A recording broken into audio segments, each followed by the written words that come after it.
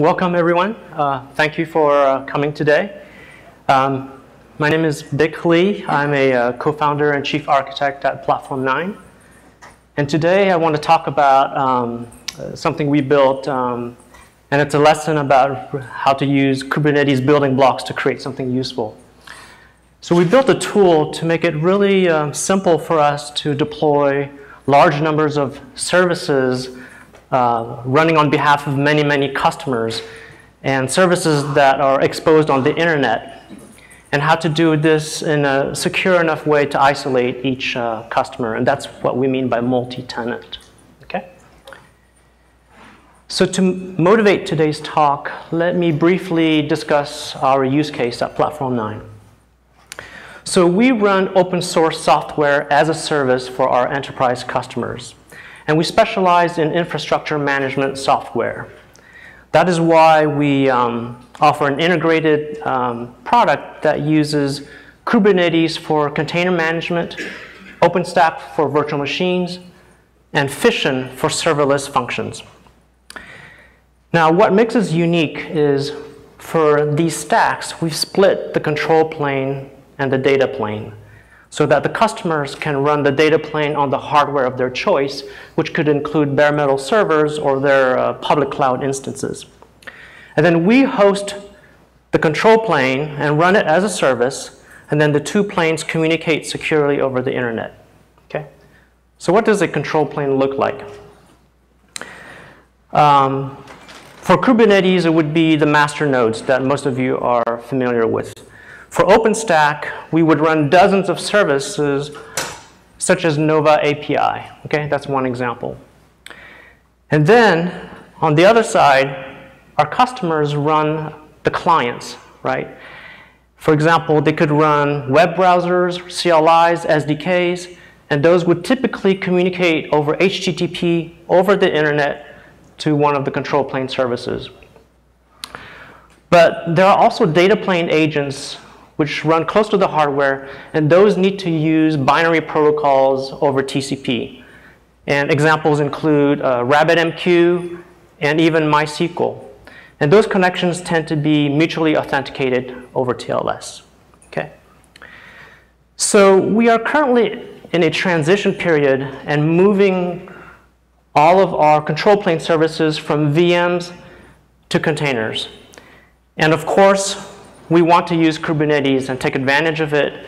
We also want to use and run everything on a shared um, Kubernetes cluster to gain high utilization and of course all the benefits you get from Kubernetes. So during this transition, um, we wanted to build a set of tools that would help our ops team automate as much of this as possible, right?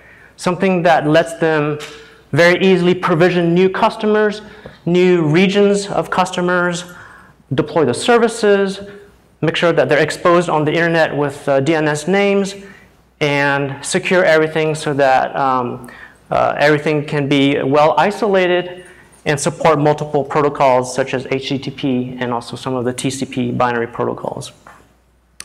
And since our ops team is kind of ramping up on Kubernetes and Kubernetes can be pretty complex, we also want our tool to um, automate as much as possible. You know, uh, automate a lot of the repetitive tasks, maybe abstract away some of the complexities of Kubernetes without really hiding its true power.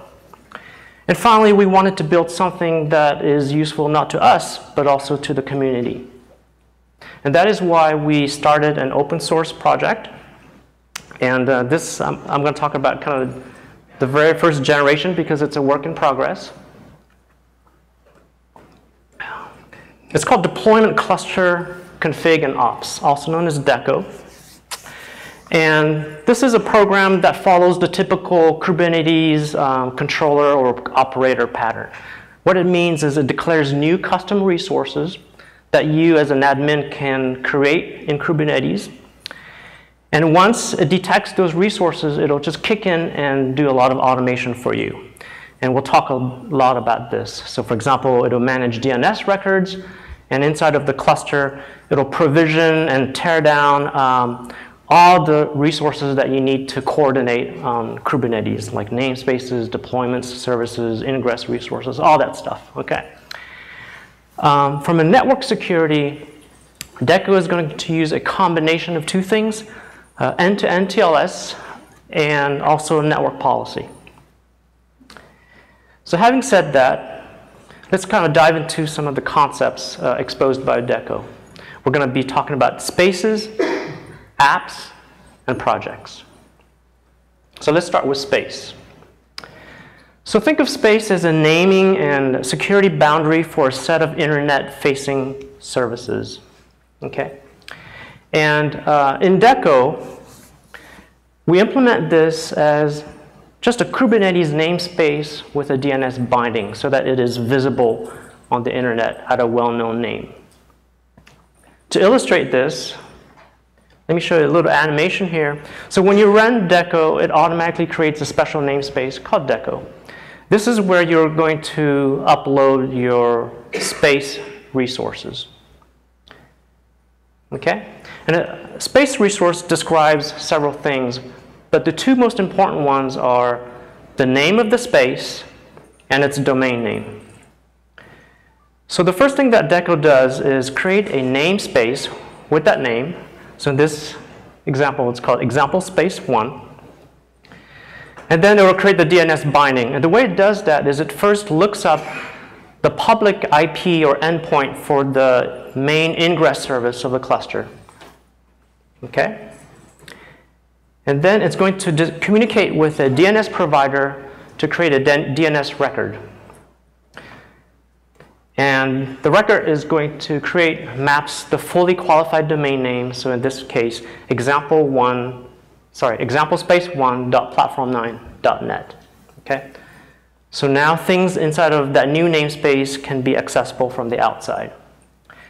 It also populates the new namespace with a number of resources to configure traffic management and security, and we'll talk about that later. So now that you have a new namespace or a new space in Deco uh, terms, you are ready to provision applications into it by creating app resources. Okay?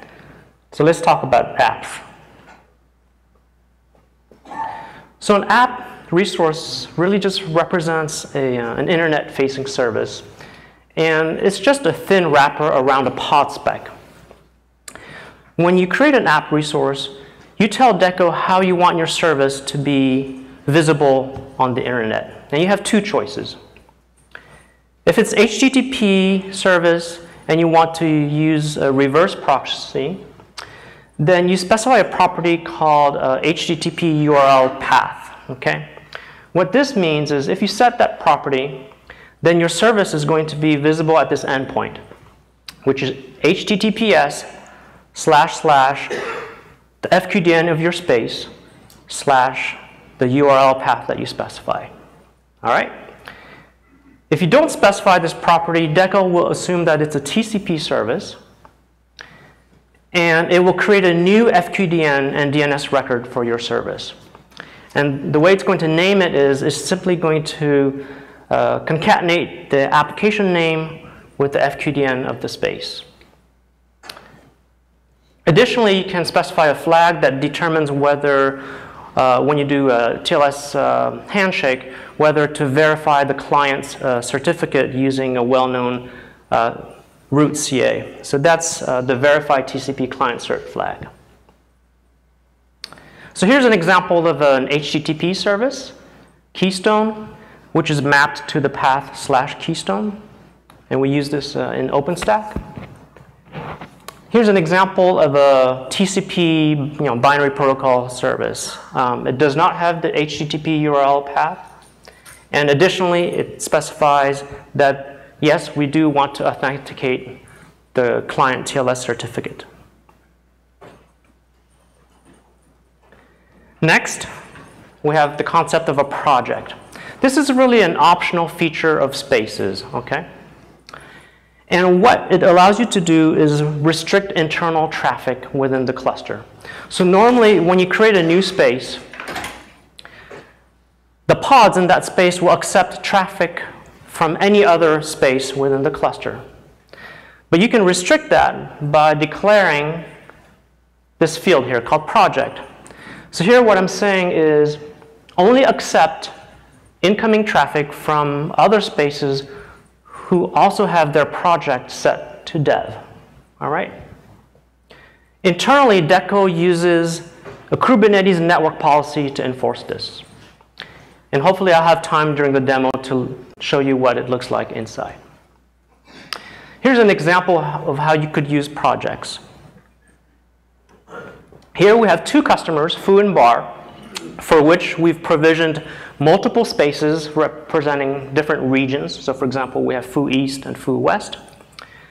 And to make sure that within a customer, the spaces can communicate with themselves, but disallow communication across customers, we set all the spaces belonging to Foo to have a project equal to also Foo, okay? And we do the same thing with bar. So they can talk to each other, but not across customers. We also have a global space here running uh, a service we call, um, it's Consul, and we use it as a global configuration database. So each pod, uh, when it starts up, it needs to talk to Consul in order to retrieve its configuration. And so all spaces need to be able to access Consul. So what we did here is for the global space, we set the project to be empty. And what that means is it can accept traffic from um, any other space. Okay?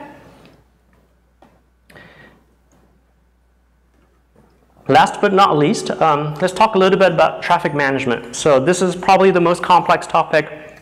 This is about network routing, and it's also about TLS termination, which are related. Um, so Deco is built to accept uh, multiple providers of uh, traffic management. The requirements uh, we've already discussed, and you know, it needs to support HTTP reverse proxy uh, from, from the internet. And for TCP uh, services, it needs to support end-to-end TLS um, authentication, you know, from the client all the way to the pod. And this has to be authenticated on a per customer or per space or per app basis. It is our intent to integrate with service, uh, service meshes, uh, especially Istio. Um, that's currently in progress. Uh, we are currently blocked by uh, an issue in um, Istio. Um, it's about um, SNI support for multiple server certificates. Looks like they're working on this, so I expect this to be fixed within weeks. But luckily, Deco also comes with its out-of-the-box uh, very simple tra uh, traffic manager, and which I'm going to describe today. So to route traffic, um, the out-of-the-box manager uses off-the-shelf components, and this is uh, pretty interesting, I think. Um, it's using two ingress controllers. Um, one of them is called K8Sniff. This is a pretty neat controller that was uh, first presented at the KubeCon Berlin. So that one's going to look at TLS uh, traffic, and if it finds a matching destination that um, matches the SNI headers, it's just going to direct traffic to that service. If it doesn't find a match, it's just going to punt it over to Nginx, which is going to handle HTTP and reverse proxying. Okay? In order to handle TLS termination, Deco will inject stunnel sidecar containers into pods. And those stunnel sidecars need certificates and root CAs to verify identity. So typically, what you're going to do is you need to create and sign your certificates outside of the cluster and then supply them to Deco through secrets. And we're going to look at an example. Okay, so here we have the Deco namespace that uh, I referred to earlier. And this is the two ingress controllers that I talked about. They're configured to be chained uh, one after the other. So I'm first going to upload two secrets containing um, certs and CAs for HTTP and TCP style services. And then I'm ready to create my space. Okay, in this example, it is a space called foo west with a domain of platform9.net. So the first thing that Deco does is create a namespace called FooWest, and then copy over the secrets so that they can be used within the namespace. And then it'll create an HTTP ingress resource, okay, with a virtual host set to the FQDN of the space, which is FooWest platform9.net. It also initializes a rules table for the paths.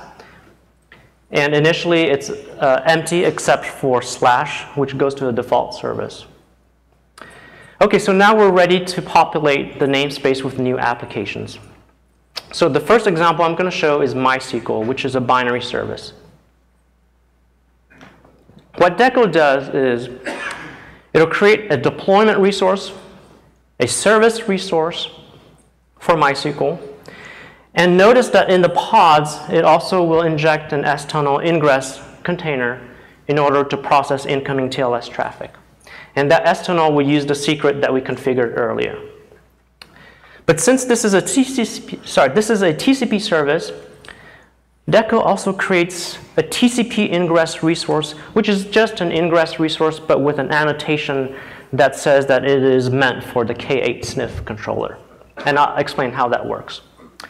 So now a client on the outside can connect to mysql.foowest.platform9.net. That'll get routed through the external load balancer and into uh, K8 sniff which is then going to look for a matching TCP ingress resource with the same host name.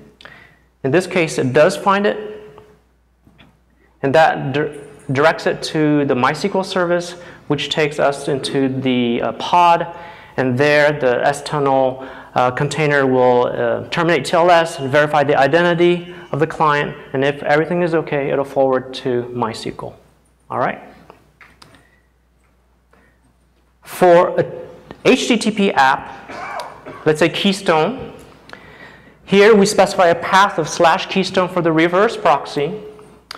Same thing, Deco is going to create the deployment, it's going to create the service, it's going to inject the sidecars. But since this is for HTTP, it's also going to add a new rule to the path array of the ingress uh, resource for HTTP. So now, if a client accesses this URL, https foowestplatform9.net slash keystone, again, it's going to go to K8 sniff, but this time it's not going to find a matching TCP ingress resource. So we've configured K8 sniff to just punt over any traffic that it doesn't recognize over to Nginx. So now Nginx will look for a matching uh, HTTP ingress resource. It finds one with the, the required virtual host name. It follows that. It also looks at the rules table. It finds a matching path. And finally, it directs uh, the traffic to Keystone. All right? Now, in addition to all of this, we also support um, internal traffic between um, applications. When you specify an app resource, you can specify a list of egress um, entries for other apps that you want to talk to. And for that case, um, Deco is going to inject additional stunnel containers for each of these um, egress um, entries and encrypt the traffic and send it to the appropriate service. So the conclusion of the, all of this is Deco treats internal traffic just like external traffic, right? Everything is meant or assumed to be insecure. And so you always have end-to-end uh, TLS encryption. And uh, customers are isolated between each other because they will have, they will typically have different um, root CAs, okay, uh, different hierarchies. And in addition to this, as I spoke earlier, we use network policy with that concept of a project to add an additional layer of security. All right.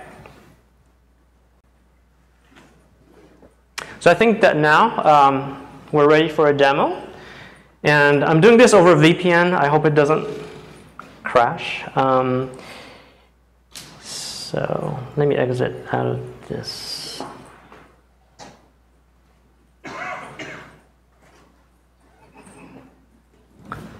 Okay, looks good. Okay. The Deco controller can run inside or outside of the cluster. It doesn't matter. It's an operator. Let me start it here. Um, I hate typing, so I've aliased KC to kube control. I hope you forgive me. Um, so let's look at what's going on here. Um, so we have um, the, the standard namespaces and also the special deco namespace that I told you about. And let's look at a bunch of resources running in the various namespaces. Uh, so in Deco, as I said, there are two ingress controller services, K8sniff and Nginx, and only K8sniff is exposed to the outside world, okay? Yeah, and you'll remember this IP here. Uh, we're gonna go back to that. Um, okay, so we're ready to create our first space. Um, it's gonna be called dev1 with a domain of platform9.horse. You might wonder why .horse. It's because we use this in dev and test, and .horse is actually one of the cheapest domain names you can buy. and um, one thing I forgot to show you was I've also uploaded some secrets for my space. Um, so this one uh, it's for uh, verifying TCP traffic, and it has a CA in it in addition to the cert. This one is a wildcard certificate for the HTTP proxy.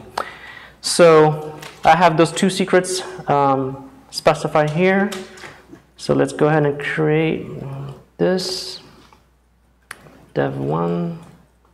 Oh, before I create this, let's make sure that the host name, the, the DNS is not set up yet, okay? So right now this resolves to nothing.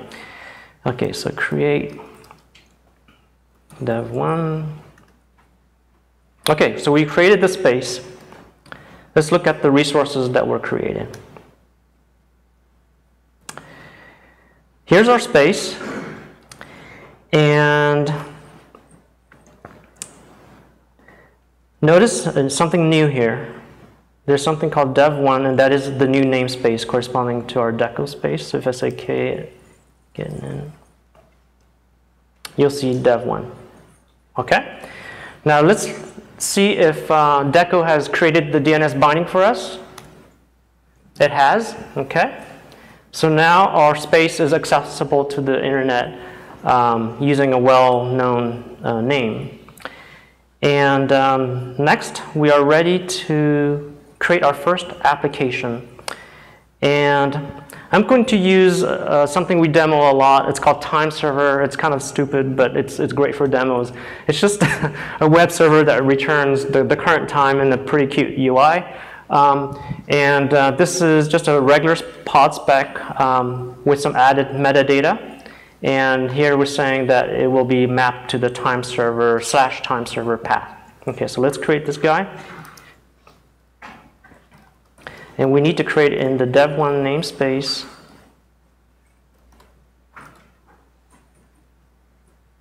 Oops.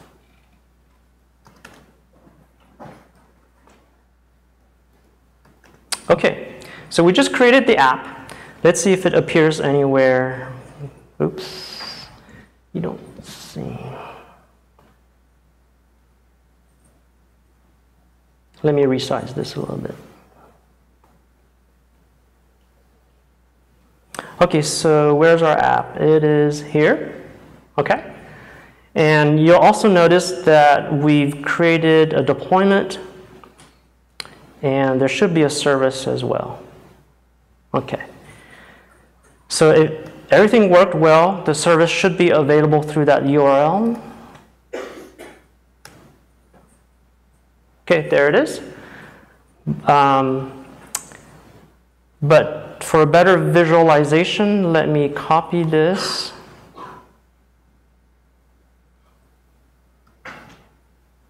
and paste it into Chrome.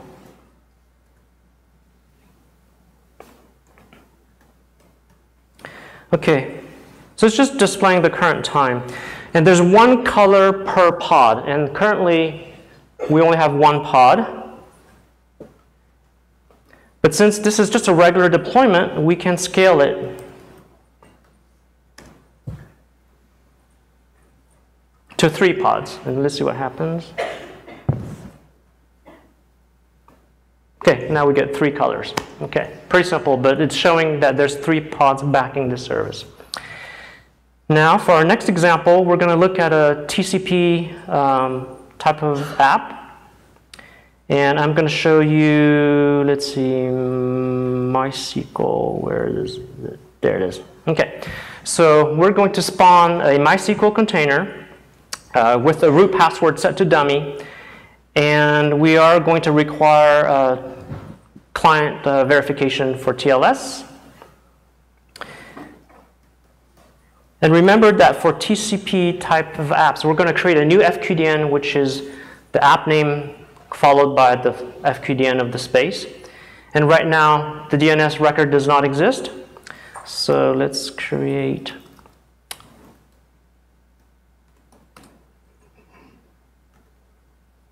Okay, we created MySQL.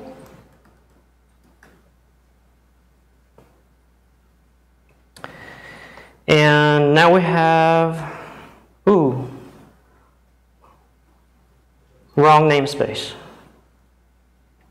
Um, dash n dev one.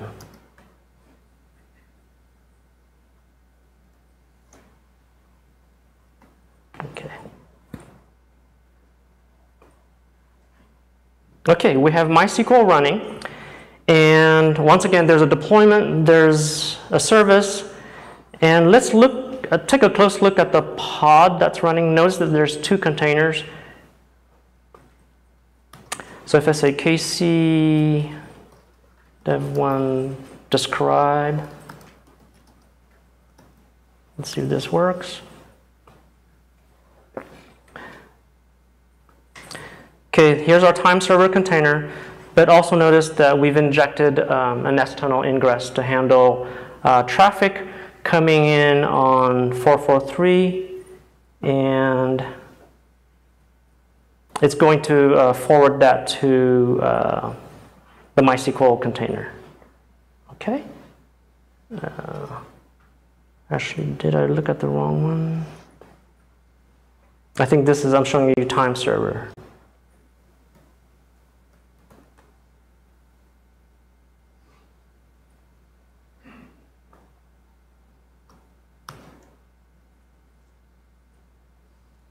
Yeah, I showed you the wrong one.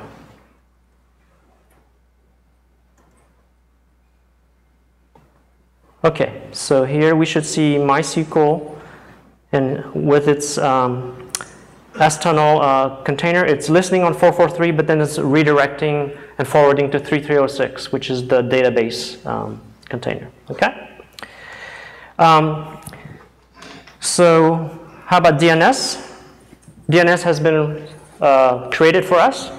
And now we can connect to our database over that well-known name over the internet, except that it's enforcing strict TLS, so we can't just run our standard MySQL uh, client against it. So what I've done is um, I have a local stunnel configuration that uses the correct uh, client certificate to uh, authenticate itself. It's also using the correct CA file to verify the server. So I'm going to run external. And now let's see if we can connect to the database. There we go. So databases. Okay, so we're connected to MySQL. Great. The last thing I want to show you is you'll notice that our space uh, set the project name to um, dev. Okay? And as explained earlier, we use network policies to enforce this interspace uh, traffic. And so somewhere in this list, we should see a network policy. There it is. Okay, so let's take a look at what's inside. Um, dev1 get.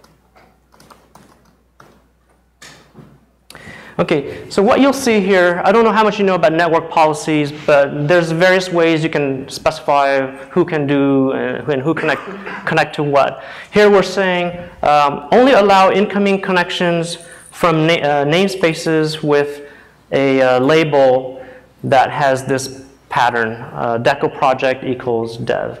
Okay, so that's what we expected. But also notice that we've inserted another one here for a, a, mysterious namespace with a label deco project ecosystem. And the reason we had to do this was to allow traffic from the ingress controllers, right? Because remember k8sniff and Nginx, if you didn't have this, then the space would not be able to get any traffic from the internet. Okay, so we're almost done.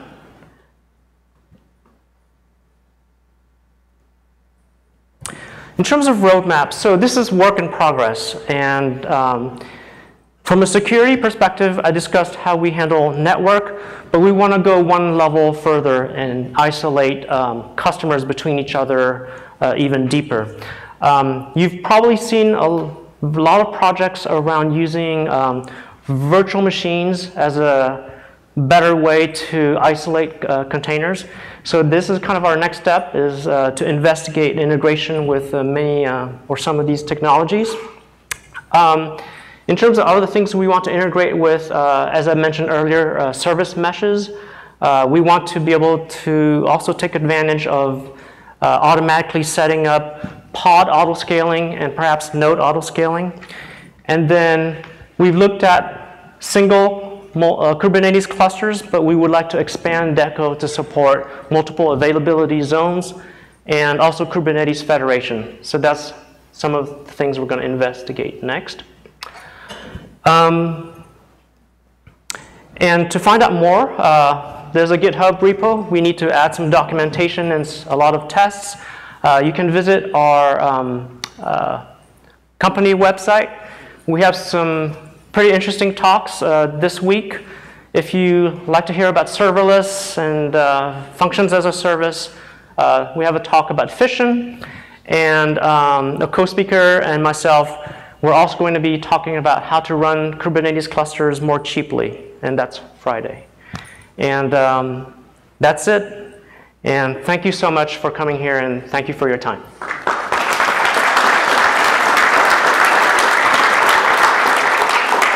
And I'll take some questions. Yeah. Do you have any customers or production running with Deco?